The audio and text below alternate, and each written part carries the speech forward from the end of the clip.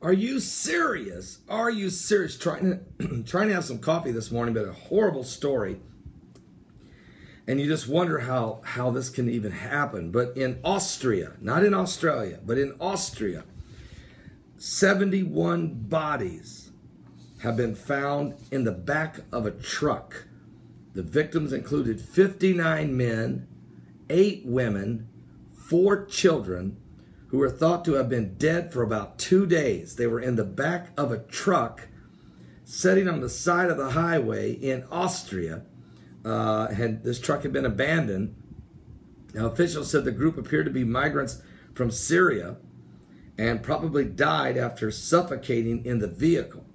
Police in Hungary say that they are arresting four people, three Bulgarians and one Afghanistan uh, linked to this story. This is terrible.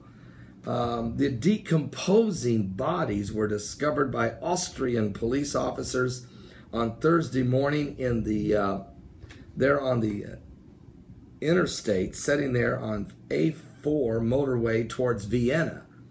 Uh, the vehicle was towed to a customs building with refrigeration facilities, where the forensic teams then worked through the night to examine the bodies. The group are thought to have been dead when the vehicle crossed into Austria from Hungary. Among the victims was a girl aged between one and two years old. The local police chief said a travel document found on the vehicle suggested that the group were Syrian migrants. this is just, I don't even know what to say. I don't even know how to, you know, this is the desperation, though that uh, the people from Syria, you know, because ISIS has just destroyed their country, taking over their cities, executing them, beheading them, crucifying them, raping them, murdering the children, destroying their infrastructure, blowing up the tomb of Jonah, destroying their ancient artifacts of their history, just outright massacring, and many of them Christians. Christians are being, it's a genocide on Christians. They find a Christian, they kill them. It's just not even a question. And so here's some desperate people trying to get out of this country anyway to get somewhere else. And they end up dying in the back of a truck sitting on the side of the road in, in Austria. Uh, this is just horrific what's happening. It's just horrific what is happening uh, to humanity and yet there is no compassion, there is no concern.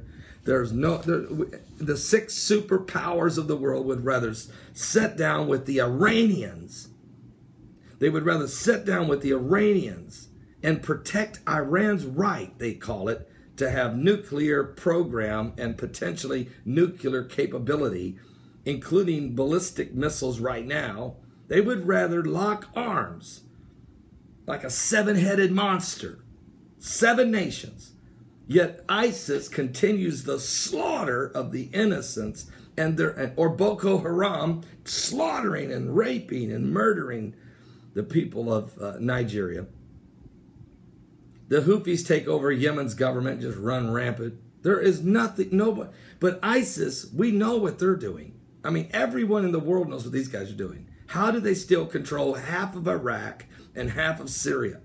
And the six big superpowers making sure that Iran is protected while Israel stands over on the sidelines screaming, This is horrible. What are you doing? What is the world doing? So, it's a seven headed monster. Seven nations China, Russia, United States, the United Kingdom, France, uh, Germany, and Iran. Seven nations. Seven nations. And nobody, none of these big boys can stop ISIS. And that's why these people are being slaughtered everywhere and then out of desperation trying to get out of the country, dying in the back of a truck. Are you serious? It's a disgrace to the human race. It's a disgrace to the human race. Folks, we're running out of time. I'm serious. Jesus is coming back soon. Give your life to Jesus Christ. We are running out of time.